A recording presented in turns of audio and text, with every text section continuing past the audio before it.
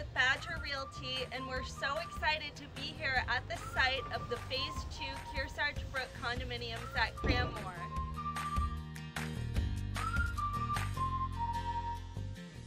As you can see, they're doing the groundwork to lay the foundation for our beautiful Phase 2 building.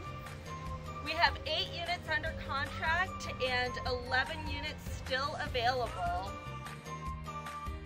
So give us a call, set up a tour, and come see what's going on at Kearsarge Brook.